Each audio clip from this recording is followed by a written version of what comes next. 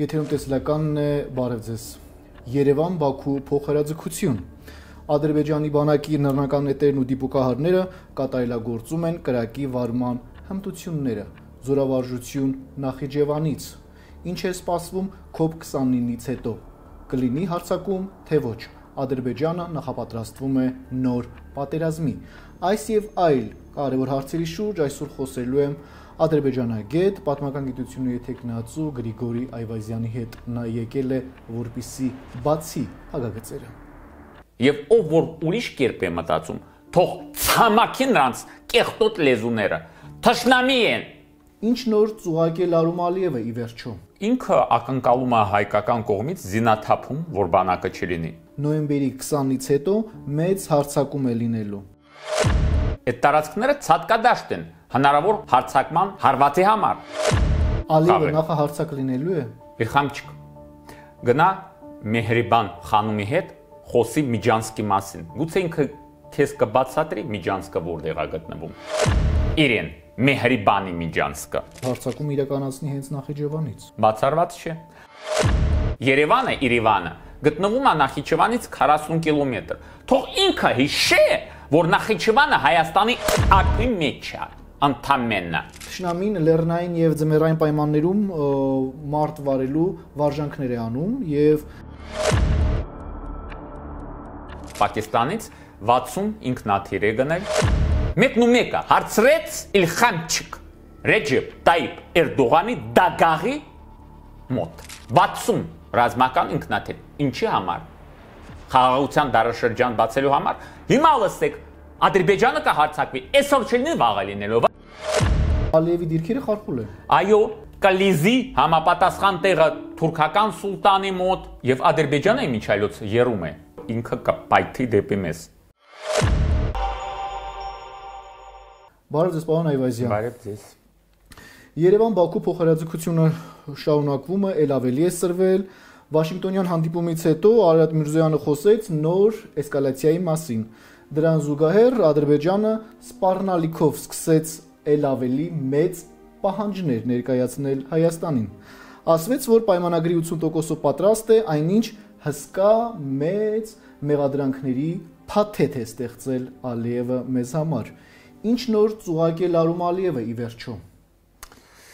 Ցավոք սրտի թե բարեբախտաբար մեր թշնամիները մեզ հետ շփումներում այդքան པարզ են խոսում իրենց նկարտումների մասին, սպառնալիքների մասին։ Վերջերս չէ որ Ալիևը ասեց նաև որ ջրականում ասեց վերջերս որ հիմա նաև իրեն պահանջների ցանկում բացի դրան որ պետք է թուրքերը վերադառնան Հայաստանի Հանրապետություն ինքը մոռացել է որ ներկայիս Ադրբեջանի Հանրապետության տարածքում առնվազն մոտ 1 միլիոն հայեր ապրում։ Կես միլիոն միայն Բաքվում։ Դրա մասին ինքը մոռացել է, բայց ասում է նաև պետք է այն մարդկանց, ովքեր մասնակցել են Արցախյան պատերազմում, պետք է ձերբակալվեն այդ 30 տարիների ընթացքում։ Ախորժակը ուտելուց է բացվում։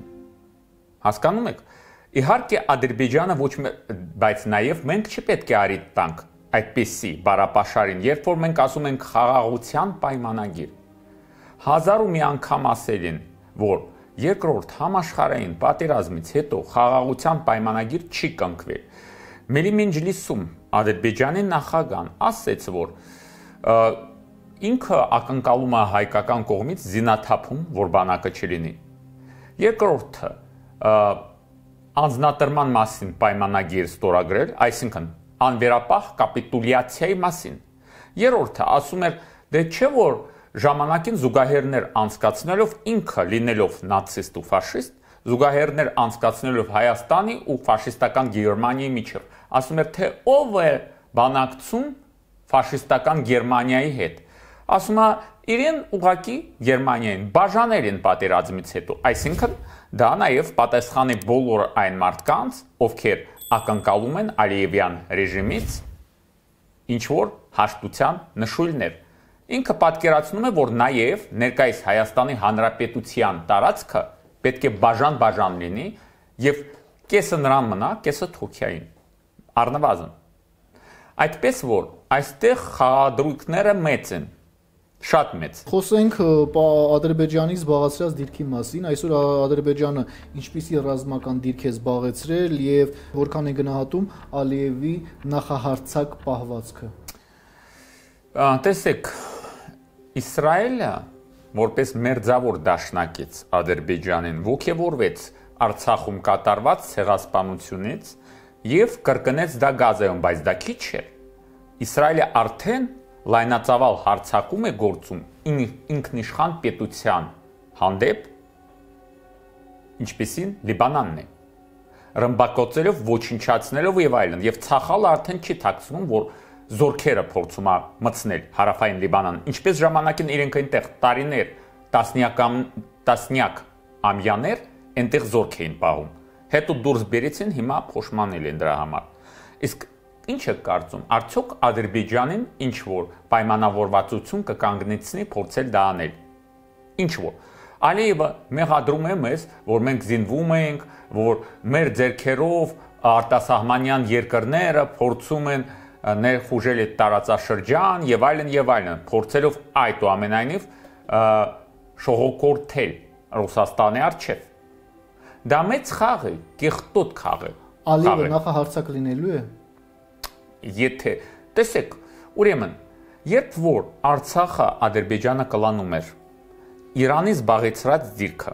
կոնկրետ Պարսկաստանի մասով է, չէ որ པարզ է որ այդ տարածքները պետք է ցածկադաշտ պլացդարմ լինեին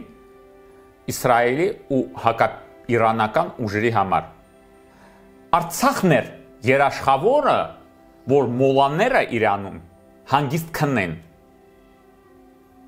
Իսկ հիմա ինչ է? Հիմա ինչ է։ Այդ տարածքները ցածկադաշտ են հնարավոր հարցակման հարվածի համար։ Իսկ մենք այս պարագայում կարծում ենք որևէ մեկը հոլ չի կասկածում, որ այո, հոբ 29-ից հետո Ադրբեջանը չի ཐակցնում նաև մեր ղեկավարությունը, բարձր ղեկավարությունը, չնայած որ խոսում են խաղաղության դարաշրջանից, բայց խաղաղությունը միակողմանի չի լինում, իսկ Ադրբեջանը մեր մահն է տենչում։ Ոչ մի խաղաղություն չի լինելու համացանցում ուժգին քննարկում է, որ COP29-ից հետո նոյեմբերի 20-ից հետո մեծ հարցակում է լինելու։ Մեծ կլինի թե փոքր կլինի, բացառված չէ, դամանավանդ երբ որ մենք ասեցին, գիտենք, որ մեր երկրի սուվերեն տարածքի 200 կիլոմետր օկուպացված է, բայց մենք ուշ չենք գործադրի, որպեսզի այդ տարածքները ազատագրենք։ Ադրբեջանում դա յուրովի են մեկնաբանում ու ընկալում։ Եվ նաև, եթե մենք խոսում ենք օրինակի համար սահմանազատման, սահմանագծման, այս կանոնակարգի հաստատման հետ կապված, չէ՞։ Մեր բոլոր ներպետական համարյա թե ատյաներով արդեն անցել է դա։ Իսկ Ադրբեջանը դա չի չի շտապում վավերացնել որևէ տեղ։ Եվ ուրեմն ինչի հիման վրա ասենք թե եւ նաեւ այդ կանոնակարգը հազար ներողություն իր մեջ պարունակում է այդպեսի մի փոքրիկ խթան, որ որտեղ կցանկանա Ադրբեջանը այնտեղ էլ կգծվի, այնտեղ էլ կզատվի։ Այդ կանոնակարգին արդյոք ամրագրված է որևէ քարտեզ։ Արդյոք որ քարտեզ, որ Իլհամ Ալիևը ասենք թե իրենց գիտությունների ազգային ակադեմիայի պատմության ինստիտուտում հորինված քարտեզ նորով են գծելու մեր սահմանները։ Ինչի հիման վրա։ Ինչի։ Այս տարածքում նրանք դա են դա են ընտրել այն տարածքում ուրիշ մտեցում ա լինելու, իսկ վերջում ինչ ա լինելու։ Մենք պետք է վերջնականապես խոստովանենք ինքներս մեզ, որ մեր դիմաց եւ ով որ ուրիշ կերպ է մտածում, թող ցամաքի նրանց կեղտոտ լեզուները թշնամի են, թշնամի, անհաշտ թշնամի, որը երբեք մեզ հետ լեզու չի գտնելու։ Եթե որևէ մեկը կարծում է, որ քիրֆայության օրենքներով հիմա կը գրկեն Ադրբեջանը ու միասին Եվրոմիություն կգնան, ջահնամը կգնան ու գյորը կգնան, չի լինելու, Ադրբեջանը չի թողնելու։ Ադրբեջանը դա դժողքի ծնունդն է։ Դժողքի ծնունդն է։ Իրեն ֆաշիստական ռեժիմ առաջին հերթին։ Իսկ Ադրբեջանը պարզապես արհեստական օրեն ստեղծված պետություն է։ Հայատյացության վրա գաղափարախոսությունը ամեն ինչը, եթե եթե մենք չլինենք, իրենց միավորող շատ քիչ բան կա։ Պարոն Այվազյան, Ալիևը բացի բաց ասում է եւ չի էլ թաքցնում։ Կարծես կոփից հետո լինելու է հարցակում։ Ո՞վ է Ալիևին ստոպ տալու։ նայած ռազմաքաղաքական իրավիճակից տարածաշրջանում։ Եթե նույնը շարունակվի, ապա ոչ ոք մենք պետք է ստոպ տանք Ալիևին,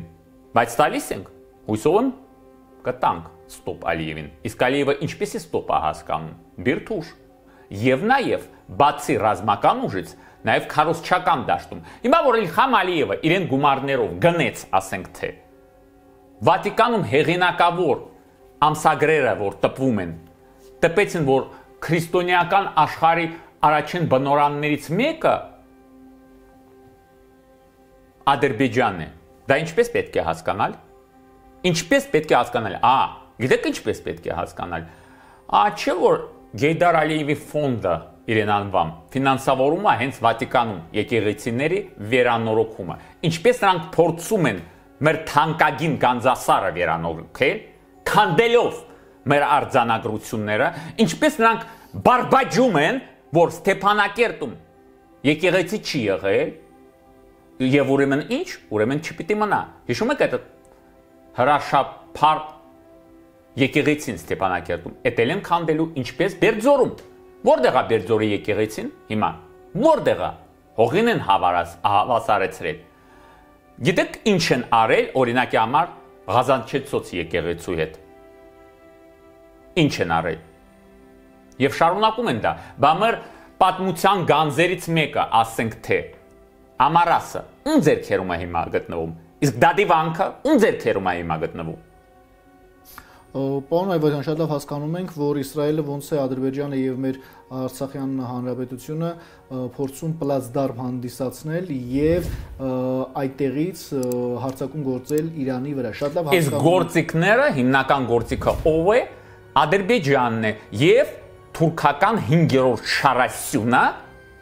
Իրանի հյուսիսում։ Ժողովուրդ, սթափվեք։ Մենք գտնվում ենք շուրջ բոլորը շրջապատ փակված թուրքերով, թուրքերով։ Հարավում մենք ասում ենք մենք Պարսկաստանի հետ սահման ունենք։ Այո, արևելյան եւ արևմտյան ատրապատական նահանգ Ադրբեջան։ Հա, որը բնակեցված է մոտավորապես տարբեր հաշվարկներով 30 միլիոն թուրքերով որոնք երազում են միավորվել Ադրբեջանի հետ։ Նրանք չեն երազում, բայց Ադրբեջանը դրա մասին մտածում է եւ ոչ միայն նրան տերերը։ Նաեւ հիշենք, ով հիշում է Ժողովուրդ ջան, ժող ջան, հով հիշում է, երբ որ հատում է սահմանը Վրաստանի հետ, Բորչալի տարածքով չեն կանցնում։ Հմ?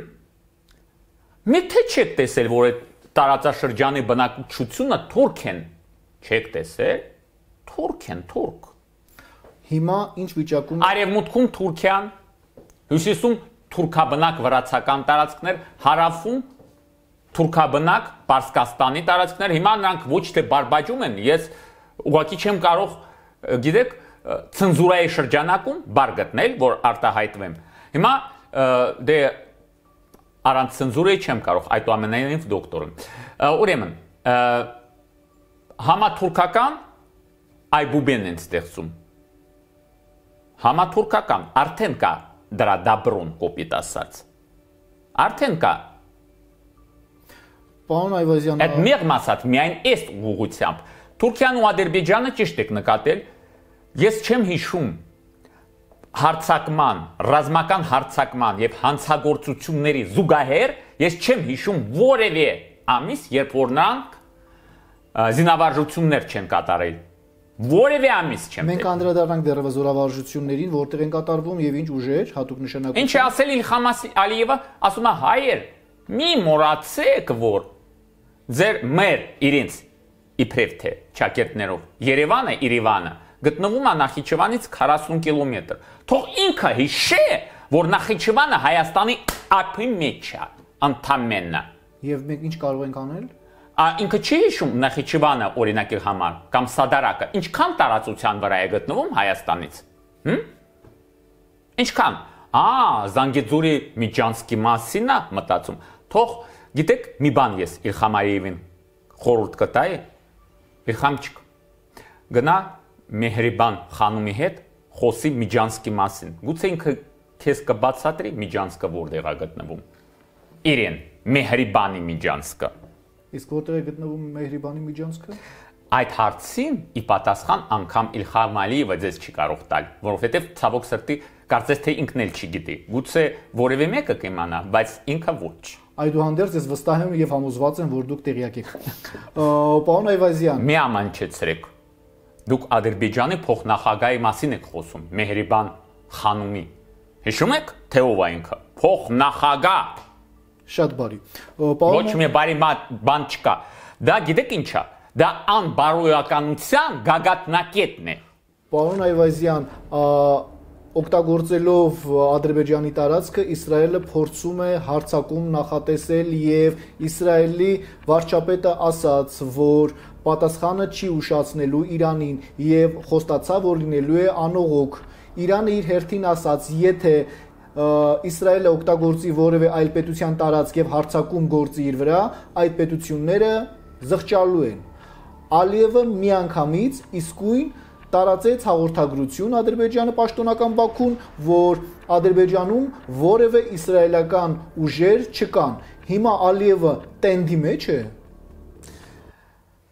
Հարգելի պարոն Գրիգորյան, նայում եմ ձեր անկեղծ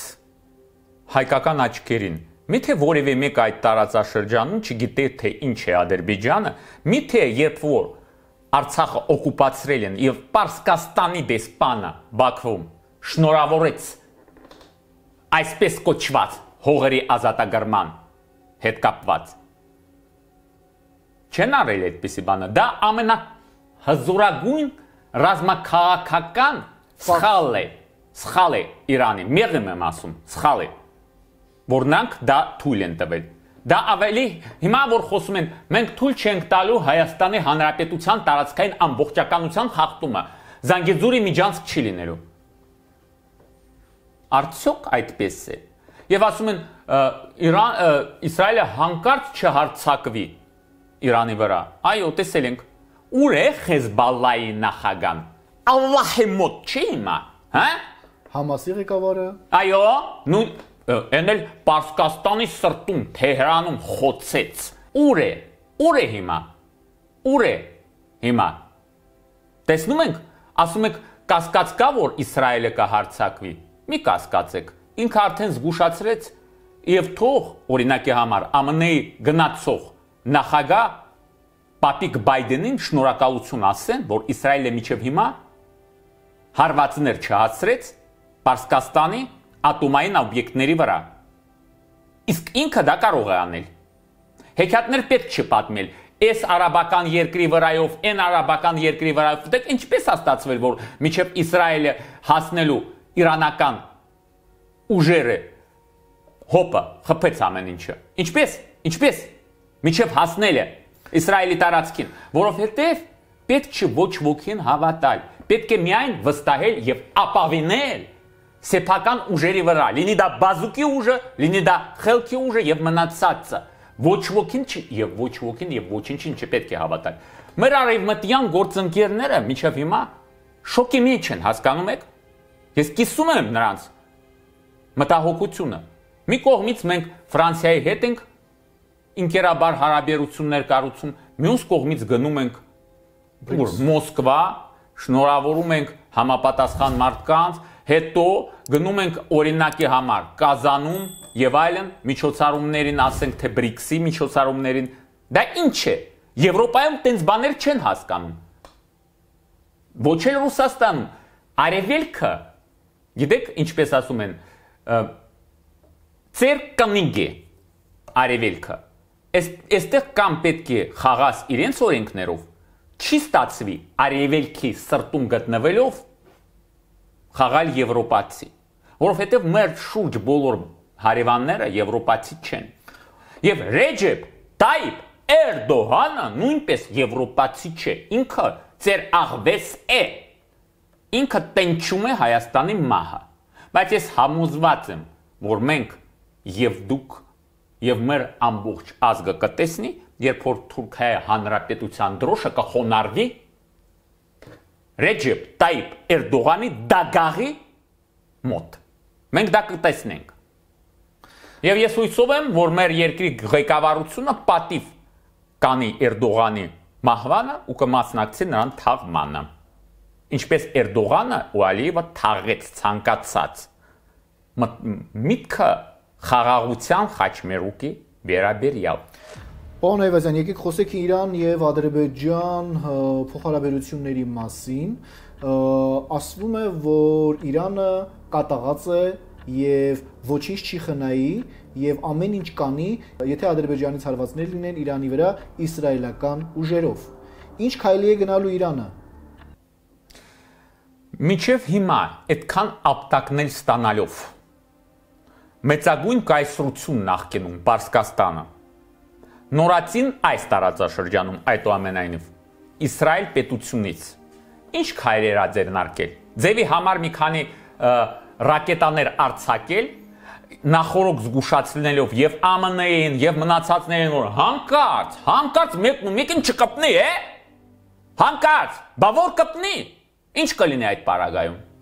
Ինչ է անելու Իրանը, եթե Ադրբեջանից հարվածներ լինի։ Մեզ համար ամենակարևոր բանը այն է, որ թե ինչ մենք պետք է անենք այդ իրավիճակում։ Շատ པարզ է։ Ինչ է անելու Իրանը, եթե Ադրբեջանից հարցակում լինի։ Տրորելու է Ադրբեջանը։ Իհարկե, ոչ։ Ոչ մի բան չի անելու Ադրբեջանին։ Լսեք, ուղակի հարցակում չի լինելու։ Ուղակի ինչպես որ դուք պատկերացնում եք, որ երբ որ եթե Իրանի Պարսկաստանի ներսում իսրայելական ցանցը բավականաչափ տարածված է բավականաչափ եւ իզուր չէ որ Պարսկաստանի ղեկավարությունը լավ գիտակցում է որ եթե նրանց միջ մեջ չլիներ այն դավաճան ծառայող ուրիշ պետության մարդիկ չեր լինի այդ իրավիճակը ինչ պետք է Իրանը անի մեզ համար կարևոր է որ այս իրավիճակում թե ինչպես պահպանենք մեր պետությունը։ Երբ որ ես ասում եմ, որ Հայաստանը ամեն ինչ վեր է, դա մարդիկ ծաղրի են ենթարկում, բայց չէ որ դա կրեդո պետք է լինի։ Մեր ամբողջ աշխարհասփյուր հայության, Հայաստանի Հանրապետության, Արցախցիների համար Հայաստանը մեր վերջին հանգրվանն է։ Ուրիշ տեղ մենք չունենք այդ աշխարհում, որտեղ որ մենք որպես հայեր հպարտ կարող ենք մենք զգալ Պարոն Այվազյան, Իրանը ձերքերը ցալած նայելու է, թե ոնց է իր երկիրը ռմբակոծվում Ադրբեջանից իսրայելական ուժերով։ Դա մի քիչ ավելի դժվար խաղ կլինի, քան թե դուք նկարագրել եք հիմա։ Գիբրիդային պատերազմի մեջ արդեն վաղուց են նրան գտնվում, վաղուց։ Պարսկաստանը, Իսրայելը եւ ոչ մի։ Կոնկրետ գործողությունների մասին է, պարոն Այվազյան կոնկրետ գործողությունները։ Ես ասում եմ, որ ներկայիս Ադրբեջանի նացիստական ես երբ միշտ էլ շեշտում եմ, չէ, մեր հայ ժողովրդի թշնամի չէ Ադրբեջանի բազմազգ ժողովուրդը, չէ։ Մեր թշնամին է Ադրբեջանի ֆաշիստական, ռասիստական համակարգը։ Ղեկավարությունը, որը թշնամի է նաև Ադրբեջանի ժողովրդի։ Ուրեմն ինչ պետք է անի, ինչպես ասում են, կեղտոտ շակալ Ադրբեջանի ղեկավարությունը։ Ինչ պետք է անի։ Նայել, եթե Պարսկաստանը խղճանա, այդ պատերազմի։ Իհարկե, ոչ թե Իսրայելը կհարցակվի, այլ ինքը Ադրբեջանը կհարցակվի Պարսկաստանի վրա։ Եթե տեսնեն, որ արդեն այնտեղ բանը բանից գնացել է Պարսկաստանում, եւ դրանից հերու չէ։ Իսկ եթե պարս, պարսիկները չհասկացան, որ Արցախը իրենց պետության գույցյան երաշխավորներ չհասկացան։ Չհասկացան։ Դրա համար նրանք թանկ են վճարելու պարսիկները։ Իսկ մեզ համար մեր պետությունն է անհրաժեշտ պահպանել, բայց խորը գիտակցելով ինչքան մեծ եւ բարդ խաղի մեջ ենք մտել։ Արդյոք ինչպես ժողովրդական լեզվով ասում են, տակից կկարողանանք դուրս գալ։ Դա կապված է գիտեք ումից առաջին հերթին մեր դիվանագիտական կորպուսից։ Արևելագետները, եթե ես չեմ սխալվում, դիվանագիտական կորպուսում շատ են, չէ։ Ուրեմն պետք է հասկանան, թե ում հետ գործ ունեն։ Տշնամին լեռնային եւ ձմեռային պայմաններում մարտ վարելու վարժանքներ է անում եւ ասվում է, որ հենց այնպես չեն այդ վարժանքները։ Ինչով է պայմանավորված, խնդրում եմ մեկնաբանեք։ Դե Եթե ես հիմա ասեմ ձեզ կասեմ, որ գաղտնիք եմ բացահայտում, Ադրբեջանը իր համար հերահար նպատակ է դրել հայկական պետականությանը վերջ տալու։ Թուրքիայի ձեռքով, Պակիստանի ձեռքով եւ այլն նշանակություն չունի։ Իրենք ուզում են մեծ տուրանական ստեղծել, այսպես ասենք միջանցք։ Ամենանեղ այդ մասը անցնում է Մերսյունիկով, Զանգեզուրով։ Ամենաթույլ օղակը նրանք всё այդո ամենայնիվ անկալում են ոչ թե Պարսկաստան, այլ Հայաստանը, որը իրականության մեջ այդ տարածաշրջանում չունի դաշնակիցներ։ Տարածաշրջանում շեշտում եմ, չունի դաշնակիցներ։ Ոչ ոք դաշնակից չէ մեզ։ Այո։ Ով ուզում է թող հասկանա, ով ուզում է թող չհասկանա։ Ով գիտե պատմությունը, օրինակի համար, ով գիտե որ Հայաստանի Հանրապետությունը ըստ էության առաջին հանրապետությունը պատերազմի մեջ էր բոլշևիկյան Ռուսաստանի հետ։ Պատերազմի մեջ նաև մեր հարևան Վրաստանի հետ։ Ես չեմ ասում, որ պատերազմի մեջ էր Ադրբեջանի հետ եւ զուգահեռաբար պատերազմի մեջ Թուրքիայի հետ, Կեմալական Թուրքիայի հետ։ Հասկանում եք։ Ես կարծում եմ հույսով եմ այս մեր հանրապետությունը, հա, արդեն ավելի քան 30 տարի անկախ պետականության պատմություն ունի մի ամբողջ սերունդ մեծացել է։ Երբ որ մեր հայրենիք է հնչում երկը, հա, օրդներքը մեր երկրի։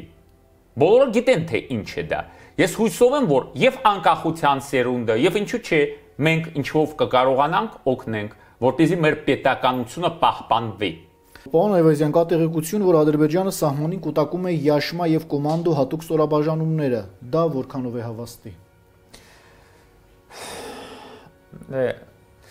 Դե Յաշմա դուք գիտեք դե առանձին անուն չէ։ Դա ուղակի տենց։ Չեմ մանրանա թուրքերինի թուրքերի շան լեզվի չեմ մեկնաբանելու դա դա թուրքերի հետ ընդհանրապես կապ չունի, բայց այդ չէ հարցը։ Այո, զինավարժություններ են կատարում եւ այո, Ալիևը օրինակի համար ով է ասում Հայաստանում Ալիևը մեր մեզ մեղադրում է որ իբրև թե մենք զենք ենք գնում, չէ, տարբեր երկրներից։ Ով է ասել Ալիևին օրինակի համար, ինչի համար ինքը Պակիստանից 60 ինքնաթիռ է գնել։ Մեկն ու մեկը հարցրեց Իլխամչիկ։ Ինչի համար ես դու գնել 60 ինքնաթիռ։ 60 ռազմական ինքնաթիռ։ Ինչի համար։ Խաղաղության դարաշրջան բացելու համար, Զանգեզուրի միջանցքը բացելու համար թե Մեհրիբանին հաճոյանալու համար։ Ինչի համար։ Օրինակի համար, որ գնում է ֆռում է մեր Արցախով ժամանակավորապես նրանց կողմից ակոպացված եւ քանդում է մեր գերեզմանատները, խեղաթուլում է ու աղավաղում է մեր պատմությունը եւ ասում են անգամ ասում են որ գիտեք Ստեփանակերտում Խանքանդի են ասում, այ ոչխար, Խանքանդի չէ, վարարական միջայտ եղել է, տենց ավան չի եղել ասում է ոչ մի եկեղեցին արի փորձի քանդել հիմա ինչ եւ ամբողջ քրիստոնյա աշխարհը լուր հետևում է դա միայն մեր արժեքները չեն ուր են այդ ավանդական ավանդապաշտ արժեքների պաշտպանողները երբ որ տեսնում են որ մեր եկեղեցիները երբ որ ասում են մերը նշանակում է համաքրիստոնեական բացվում են ուր են նայում ուր են նայում ա ֆոնդ Ալիևի, հա? Հեյդար Ալիևի անվան ֆոնդը։ Չէ որ վերանորոգումներ ա կատարում են տեղ կամ էլ օրինակի համար ասում են որ փորձում են եւ ակտիվ աշխատում են այդ ուղությամբ, որ փորձում են ստեղծել այսպես կոչված աղվանական եկեղեցին Ադրբեջանում, որը պետք է հավակնի ոչ միայն մեր պատմամշակութային ժառանգությանը ժամանակավորապես օկուպացված Արցախում, Նախիջևանում եւ այլուր, այլ նաեւ մեր եկեղեցու Եղուսայեմյան ժառանգությանը եւ դա վանքերեն վանապատկան հողեր եւ այլն հասկանում եք թե ինչի մասին է խոսքը Պարոն Այվազյան միջև տարեվերջ հարցակում կանխատեսում եք Ես մի բան ձեզ ասեմ անկեղծ Բարի մաղթան մաղթանք որպես Ես կցանկանայի որ դա չլինի որովհետեւ մենք հիմա պատրաստ չենք դրան որովհետև մենք հիմա գտնվում ենք ներքաղաքական այդպիսի անկայունության շրջանում, որ որ բավականը չափ ասեմ ձեզ, մեզ համար մեզ պատերազմը պետք չէ, սակայն մենք պետք է այդուամենայնիվ հոգու խորքում պատրաստ լինենք ամեն օր Որպես ադրբեջանագետ կանխատեսում եք պատերազմի չև տարեվերջ։ Որպես ադրբեջանագետ ես պատերազմը չեմ բացառում։ Չեք բացառում։ Չեմ բացառում։ Մեղմ եմ ասում։ Ասում եմ չեմ բացառում։ Դե եթե մենք պատրաստ լինենք, գուցե դա չի լինելու, բայց ցավոք սրտի իրադարձությունները տարածաշրջանում զարգանում են այդ պարադիգմայով, այն պարադիգմայով, որ բացառված չեն։ Զորավարժություններն իրականացվում նաև Նախիջևանում։ Ինչ եք կարծում, Ադրբեջանը կարող է իր մարտավարությունը փոխի եւ հարցակում իրականացնի հենց Նախիջևանից։ Բացառված չէ։ Դա մանավանդ հիշում ենք, որ ժամանակին ասում ենք պարսիկների մասին, չէ՞, Միջանսկի մասին ենք խոսում, չէ՞։ Դուք գիտեք, որ այսպես կոչված Նախիջևանի, հա, ինքնավար հանրապետությունը, ինքնավար մարզը եւ այլն, ինքը չի ունեցել սահման Թուրքիայի հանրապետության հետ։ Անթանուր սահման չի եղել։ Հայաստանն էր եւ Պարսկաստանը։ Հետո միջնորդ կար այդպեսի Լևոն Ղարախանը Ռուսաստանի կողմից եթե չեմ սխալվում ազգությամբ հայ, բայց այստեղ դա նշանակություն չունի։ Եվ Թուրքիան երակի ավելի մեծ տարածք զիջեց Պարսկաստանին, ինչի համար, որպեսզի Միջանցք ստանա դեպի Նախիջևան։ Ընդամենը 15 կիլոմետր է ընդհանուր սահմանը Թուրքիայի ու Նախիջևանի միջև։ Բայց այդ սահմանը մեր վրա ինչպես Դամոկլյան սուր է։ Կոպիտ ասած, Պարսկաստանն է ինչ որ չափով նաև մեզ այդպիսի դրության մեջ դրեց։ Եթե չլիներ օրինակի համար Թուրքիայի ու Նախիջևանի միջև սահմանը, ել ինչ Միջանսկի մասին կարող էր խոսք գնալ։ Բայց կավի, կա, չէ, կա։ Այն բարագիծը, եթե քարտեզը նայող ցանկացած մարդ կարող է տեսնել Թուրքիայում արևելքում բարագիծը, որ կապում է Նախիջևանի հետ, ինչի համար է դա։ Որովհետև նրանք իրենց հերահար նպատակներ ունեն ու մի միլիմետր չեն շարժվել Իսկ իրենց երազանքը մեր մահն է։ Ես կարծում եմ, որ մենք չենք ցանկանում, որ ազգովին մահանանք։ Այստեղ մեր ազգային երգը ասում են, չէ, շրջանա եթե շրջապատով մահանում ես, ապա դա մահ չի։ Չէ, մահը մահ է։ Իսկ ես կարծում եմ, որ մեր թշնամիները պետք է մահանան։ Պարոն Այվազյան, Իրան-Իսրայել հակամարտությունը մեկ սկսում է, մեկ մարում է, մեկ սպառնալիքներ ու այսպես տարիներ շարունակ Իսրայելի հարձակումներից հետո բոլոր շուշները պահած սպասում էին, որ Իրանը շատ խոշոր հակահարված է տալու, այնինչ լռեց։ Իրանը լռեց, թե ինչպես իր երկրի ղեկավարը Ադրբեջանում սպանվեց կամ զոհվեց։ Սպանվեց, այո, սպանվեց։ Եվ հետո հիմա տեսեք, պաշտոնական հայտարարություն Պարսկաստանի կողմից վատ եղանակային պայմաններով կուլ են տվել, չէ՞ դա։ Լավ էլ գիտեն, որ դա այդպես չէ։ Դա էլ լրեց Իրանը։ Իրանի նոր նախագահը երբ եկավ գահին, որոշվեց այդ հոգեոր առաջնորդի Եթե նրանք Այաթոլլա Ռայսի մահը մարսեցին, ապա ապա Մի խոսքով Ռայսի մահից հետո էլ այդ ամեն ինչից հետո էլ նոր նախագահը եկավ եւ հոգեոր առաջնորդի հետ մեկտեղ Պեզիշկյանը Այո, հարցակում տեղի ունեցավ Իսրայելի վրա։ Նոր նախագահով էր պայմանավորված, նոր նախագահը խայծը կերավ, թե Դե նախագահան իրականության մեջ Պարսկաստանում այդպես առանձնապես եղանակ չի փոխում, ինչպես ես ասացի, չնայած որ ինքը ցակումով թուրք է եւ զանգվածաբար ասում է, որ տանը արկելում է իրեն թորներին խոսել պարսկերեն, որ չմոռանան թուրքերենը։ Բայց դա չի ազդում։ Օրինակի համար Իրանի իսկական ղեկավարը նույնպես ցակումով թուրք է։ Նույնպես։ Դա այստեղ մեծ խախ նշանակություն չունի։ Իսկ հոգևոր առաջնորդը թուրք է։ Պարսկաստանի հոգևոր առաջնորդը Այաթոլլան Խամեյնին թուրք է։ Խամեյնին թուրք է։ Այո, այո, եւ գաղտնիք չէ։ Ադրբեջանցի թուրք։ Այո, Ինքն էլ ինչ է ստիպեց, որ Փեզեշկյանը հարցակում անի Իսրայելի վրա։ Այդքան էլ գող չեն Փեզեշկյանի իշխանությունից Պարսկաստանում մեղմ ասած նրան վարած քաղաքականությունից։ Եվ նաև եւ Ադրբեջանը միջայլոց երում է երում է եւ ինչքան երում է Ադրբեջանը ներսից, այդքանով մեծ վտանգ է, որ ինքը կպայթի դեպի մեզ։ Ուր են, գիտեք, այդ այսպես ասենք շահիդները, հերոսները ճակերտավոր պատերազմի հիմա շանպես փողոցում թափված են։ Գիտեք, իրենց ռազմական թոշակառումների հետ սովորական զինվորականների թուլապայը կոպիտ ասած ներողություն արտահայտությանս համար 50 ԱՄՆ դոլար է ամիսը։ Պատկերացնում եք, չէ՞։ Իլխամ Ալիև իր ամբողջ հարստության մեջ այսպես կոչված հերոսներին 50 դոլար է տալիս ամսական։ Դա է Ադրբեջանը դա է։ Ընդվզում է բարձրանալու Ադրբեջանում։ Դա կա։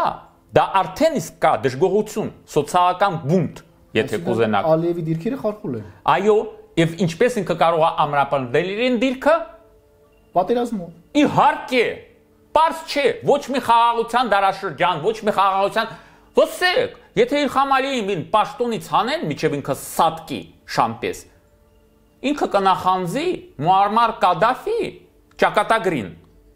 Ինչ կնախանձի։ Այլապես։ Այլապես կհար կար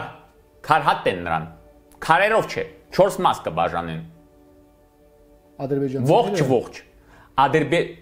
բազմասկ Ադրբեջանի ժողովուրդը։ Ես ասել եմ հարգելի պարոն Գրիգորյան եւ ասում եմ, ադրբեջանցի դա ազգ չէ, դա քաղաքացիություն է,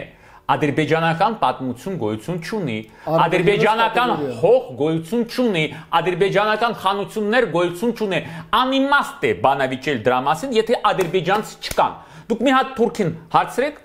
ասեք դու ով ես ազգությամբ։ Ով ես ազգությամբ։ Հрья, թաթ, թալիշ, լեզգի, ով ես դու։ Թուրք։ Չգիտեն։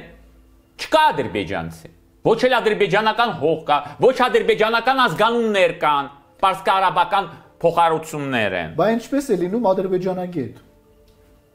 Ինչպես է լինում ադրբեջանագետ։ Ադրբեջանագետ պետք է լինի, որովհետև պետք է քո թշնամու երկիրը ուսումնասիրես եւ իրենց բոլոր թույլ կողմերով եւ ուժեղ կողմերով։ Օրվա մեջ 24 ժամ շաբաթվա մեջ 7 օր, որպեսզի եթե անհրաժեշտություն լինի քո խորհրդին, ժամանակին այդ խորհուրդը տաս եւ այդ պարագայում հնարավոր կլինի բոլոր պարտավոր չեն բոլորը հասկանալ այդ մանրուկները ու մանրամասնությունները, բայց չէ որ մասնագետների խորհուրդը միշտ կարիք կա որ լինի։ Եթե տենց չէ որ ձայն բարբարո անապատին։ Հիմա ասում եք Ինչու կան ադրբեջանագետներ, ինչու կան թուրքագետներ, պարսկագետներ եւ այլն։ Չէ, որ ասացի մենք ցանկանանք թե չցանկանանք, այդ Կովկասյան Ֆրանկենշտեյնը անունով Ադրբեջան գոյություն ունի։ Ադրբեջանցի ազգ գոյություն չունի, ես դեզ ասում եմ դա պատասխանատու։ Չկա այդպիսի ազգ, բայց լինել ադրբեջանագետ չի նշանակում լինել հենց ադրբեջանցի ազգի գծով մասնագետ։ Դուք նախ մի հատ ադրբեջանցի ինձ գտեք, ցույց տվեք, Ես որ հազար ներողություն, ինչու պիտի ամանչեմ։ Ես Բաքվում եմ ծնվել, Բաքվում։ Ադրբեջանի մայրաքաղաքում։ Ես որ Բաքվում եմ ծնվել, ես մի ադրբեջանցուն չեմ տեսել կյանքում։ Գուցե դուք այստեղ տեսել եք, ես այնտեղ չեմ տեսել։ Ադրբեջանցի չկա, բայց կան նացիստական ռեժիմը, որը կառուցված է հայատյացության վրա, որը հերոսացնում է մարդասպաններին, հա, Ռամիլ Սաֆարովին եւ այլոց, որոնք իրենց տղամարդկությունը հերիքում է միայն դրա վրա, որ կացնահարեն քնած հային։ Իսկ ցավոք սրտի մերոնք երբ որ գնում են ինչ որ, ասենք, Բուդապեշտ եւ այլն, չեն հիշում, որ թուրքը թուրք համանում եւ նրանց համար հերոսություն ահայ սپانելու թուրք թուրք մայրիկը ասենք թե երբ որ երեխան է ծնվում արդեն օրորոցում երկա ասում մեծանաս հային պիտի սپانես այստեղ հաշտություն չի լինելու։ Թուրքը չի քաղաքակրթվելու երբեք։ Այդպես որ ասում են որ հիմա Հայաստանի սահմանը ավելի անվտանգ է, քան թե երբևէ։ Դուք ասեք արցախցիներին, ինչքան ինչքանով էր անվտանգ։ Հա? Ինչքանով։ Ինչքանով էր անվտանգ։ Չէ որ նաև մեզ համար, ինձ համար, ձեզ համար ժողովուրդ, ձեզ համար, քանի կար Արցախը, ադրբեջանական ռազմական կառուցվածքները այդքան մոտ չէին մեր երկրի, որպեսզի հիմա Ալիևը սպառնա, ասում է հայեր, հիշեք, 40 կիլոմետր Երևանից իմ զոքն է կանգնած։ Ինչքան ժամանակ մեզ կպահանջվի Երևան մտնելու։ Ինքը չի մտածում ինչքան ժամանակ մեզ կպահանջվի Նախիջևան մտնելու։ ինչքան ժամանակ։ Եվ ընդհանրապես մեր այդ հանրապետությունը, Հայաստանի հանրապետությունը հանգիստ չի ապրելու, քանի դեռ գոյություն ունի այդ որջը անունով Նախիջիվան, հենց մեր երկրի ըստ էության սրտի ներսում։ Եթե որևէ մեկը քարտեզը նայել է Նախիջիվանը, դա մեր երկրի սրտի ներսում է գտնվում։ Մի կողմից շրջապատում է նաև, հա, Զանգեձուր վայոց ձորը, մյուս կողմից Արարատյան դաշտավայրի հարևանությամբ։ Այստեղ է մոտակայքում։ Մենք կարող ենք ընդհանրապես, եթե ցանկանանք, օրինակի համար մի ժամվա ընթացքում հասնենք Նախիջևանի սահման։ Դա մի ժամ էլ չպահանջվելու, ավելի շուտ։ Պարոն Այվազյան, շատ բարձր Բայց ես հույսով եմ, որ մենք այո, մենք կվերադառնանք եւ Նախիջևան կվերադառնանք եւ Կարցախ կվերադառնանք մեր զորքով, կորովով ու ուժով։ Եվ այո, մեր երագույնը կծածանվի այդ քաղաքների վրա եւ տարածաշրջանների վրա։ Գիտեք, կյանքը այդպիսի դաժան բան է, կամ մենք, կամ նրանք։ Ուրիշ ճանապարհ չկա։ Ասում ես արյունարբու չեմ, սակայն պետք է արձանագրենք մի բան։ Քանի դեր մենք ողջ ենք, քանի դեր մենք գոյություն ունենք, նրանք հանգիստ չեն ունենալու։ Ուրեմն կամ մենք, կամ նրանք։ Ոչ մի խաշմերուկ, խաղաղության, ոչ մի դարաշրջան խաղաղության, ոչ մի պայմանագիր նրանց հետ չի պահելու։ Ալիև ասեց, բացիաբաց ասեց։ Ասում է, երբ որ ջախջախվեց ֆաշիստական Գերմանիան, ով է նրա հետ ինչ որ բան բանակցե, ուղղակի բաժաներին այդ երկերը ու վերջ։ Ինքը Արցախի մասին չի խոսում։ Ինքը հիմա խոսում է մեր ու ձեր մեր սրբազան հայրենիքի մասին է խոսում։ Հայաստանի Հանրապետության մասին է խոսում։ Նրա բաժանման մասին է խոսում։ Դուք հասկանում եք ինչի մասին է խոսքը։ Որ այսօր վաղը Մենք հիմա ասում ենք կամ փորձում ենք հիմա ծիծաղով վերաբերվենք այդպիսի հարցերին։ Հիշում եք, հիշում եք 20 թվականը, երբ որ մի օր արտնացանք ու ասում են բոլոր ճակատներով Հայաստանի Հանրապետության, Արցախի Հանրապետության ուղությամբ ադրբեջանական զորքերը սկսել են հարցակում։ Մենք նորից ենք ուզում անակնկալի գալ։ Հիմա լսեք, Ադրբեջանը կհարցակվի։ Այսօր չլինի վաղը լինելով, վաղը չլինի մի տարի լինելով կհարցակվի։ Պատրաստ պետք է լինենք, որովհետև ադրբեջանական գործող ռեժիմը իր պահպանությունը միայն դրա մեջ է տեսնում։ Չէ՞ որ նրանք չեն ուզում պայթել ներսից։ Պարոն Այվազյան, շատ པարզ երևում է, բացի բաց երևում է եւ արդեն հասկանալի է, որ Բաքուն չի ցանկանում գնալ խաղաղության պայմանագրի ստորագրմանը։ Որոնք են հիմնական պատճառները եւ ում հրահանգին է սպասում Ալիևը։ Դե եւս մեկ անգամ հարգելիս ես ասեմ խաղաղության պայմանագիր ոչելը դա, ուրեմն Ալիևը կսկսի ասել, բա եթե խաղաղություն պայմանագիր է, եթե ձեր կարտիկով Արցախը Ադրբեջանի մասն է, ինչ գործ ունեին ձեր զորքերը այնտեղ 30 տարիների ընթացքում, այդքան པարզ ճշմարտություն է։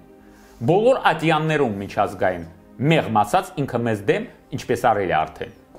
հայցեր կներկայացնի եւ կասի ահա տեսեք իրենք ասում են որ Արցախը Ադրբեջանի չէ Ինչ ունեին գործ ձեր զորքերը Ադրբեջանի տարածքում։ Ես չհասկացա։ Արցախը Հայաստանը եւ վերջ, թե Արցախը Ադրբեջանի անբաժանելի մասն է։ Ինչ համար Արցախը հայ, ինչպես նաեւ Վանը, ինչպես Նախիջևանը, մեր պատմակար հողերն են, որոնց մասին մոռանալ չկարելի, որովհետեւ եթե մենք փորձենք ձևանել, որ մոռացել ենք դրա մասին, իրենք կսկսեն հորինել, որ Երևանն էլ է նրանց Իսկ մենք ուր պետք է գաղթենք լուսին, թե այլ աշխարհ։ Է ավելի լավ չէ լինի մեր թշնամիներին այլ աշխարհ ուղարկել։ Ով է այսօր Ալիևի հրահանգիչը։ Հրահանգիչ որպես այդպեսին հիմա բնաստ, ասեմ ձեզ, այդպես ձևակերպեմ, բնաստ։ Կենթանական։ Կենթանական իշխանության պահպանման, կլանային, գումարային, այո, բնաստ։ Որպես այդպեսին տեր ինքը չունի որպես այդպեսին։ Ինքը հիմա պետք կլինի կգնա Մոսկվա, այնտեղ կոշիկներ կա լիզի։ Պետք կլինի կգնա կլիզի համապատասխան տեղը թուրքական սուլտանի մոտ։ Եթե որ պետք լինի ինչ որ բան։ Եթե պետք լինի։ Ինքը կանի որպեսի իշխանությունը պահպանի, որովհետև նրա համար կյանքի ու մահվան հարց է իշխանություն գործնելը։ Պուտինից կախում ունի Ալիևը այսօր կենթանական բնազդից։ Կենթանական։ Պարոն Այվազյան, իրականում ո՞րն է իրական Հայաստանի հասկացույթը, կոնցեպտը։ Ես կարծում եմ, որ այդ հարցը ընդհանրապես իրավունք չունի գոյություն ունենալ, որովհետև իրական Հայաստանը պատմական Հայաստանի տրամաբանական շարունակությունն է չեր լինի Հայաստանը պատմական, ծովից ծով ասենք թե բուն հայկական լեռնաշխարհում ասենք թե փոքր հայք, մեծ հայք, ասենք թե 400.000 քառակոսի կիլոմետր։ Չեր լինի նաև Հայաստանի Հանրապետությունը, որը կազմում է ընդամենը Հայաստանի 7%-ը։ Մենք մեր պետականությունը կառուցում ենք մեր պատմական արեալի տարածքի 7%-ի վրա։ Դա էլ մեզ հանգիստ չեն տալի կառուցենք։ Դա էլ Պարոն Այվազյան, ո՞րն է տասնյակ հազարամյակից ավելի գոյություն ունեցող հայոց աշխարհի հասկացույթը։ Հայոց աշխարհը նայած ով ինչպես է իրեն համար հասկանում։ Ես օրինակի համար միշտ իմ հայրենասիրությունը, այսպես ասենք, հա, ինձ համար միշտ էլ խնդրեմ չի եղել հազար ներողություն արտահայտությանս համար։ Որոշ մարդիկ կարծում են, որ չափազանց հայրենասեր լինելը բարթույթ է, Ես չեմ հասկանում չափազանց հայրենասեր կարող է լինել մի մարդը։ Հայրենիքը քու ծնողն է, քու հայրը, մայրը, քու տատիկը ու պապիկն է, ամբողջ կյանքիդ իմաստն է, որի զոհասեղանին դու քո կյանքն ես դրել, որը քեզ համար մի աշխարհ է։ Ինչպես